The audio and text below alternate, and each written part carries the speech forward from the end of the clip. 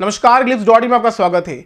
यूँ तो आपने हनुमान जी की प्रसन्न व सौम्य मुद्रा वाली तस्वीरें बहुत देखी होंगी, लेकिन इन दिनों दिल्ली में आपको सड़क पर दौड़ती कारों के पीछे शीशे पर हनुमान जी की एक तस्वीर अक्सर देखने को मिलती होगी।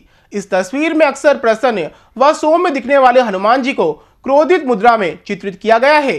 चर्चा के अनुसार प्रधानमंत्री मोदी भी इस तस्वीर तथा इसको बनाने वाले चित्रकार की तारीफ़ कर चुके हैं। दिल्ली सहित तमाम शहरों में कई महीने से कार व स्कूटर, स्टिकर के रूप में हनुमान जी की ये नई तस्वीर दिख रही है। लेकिन इन दोनों अचानक चर्चा में आने का प्रमुख कारण पीएम मोदी द्वारा कर्नाटक की एक चुनावी सभा में इसका ज़िक्र करते हुए इसके चित्रकार की तारीफ़ करना है। जानकारी के अनुसार कर्नाटक में रहने वाले करण आचार्य ने ये तस्वीर तीन साल पहले बनाई थी। इन दिनों कर्नाटक में चुनाव है तथा प्रधानमंत्री ने वायरल हो रही इस तस्वीर का ज़िक्र अपनी चुनावी सभा में करते हुए चित्रकार करण आचार्य की भी तारीफ़ कर दी। करण आचार्य को अपनी इस तस्वीर की प्रधानमंत्री द्वारा तारीफ़ किए जाने की जानकारी तब मिली जब दोस्तों के उसे फ़ोन आने शुरू हुए। करण ने एक बयान में कहा कि रविवार सुबह से ही दोस्तों के कॉल आ रहे हैं। उन्होंने ही मुझे बताया कि प्रधानमंत्री नरेंद्र मोदी ने हनुमान जी वाली तस्वीर की तारीफ़ की है, जिसका वीडियो सोशल मीडिया पर भी काफ़ी वायरल हो रहा है। ये मेरी ज़िंदगी का सबसे यादगार पल है।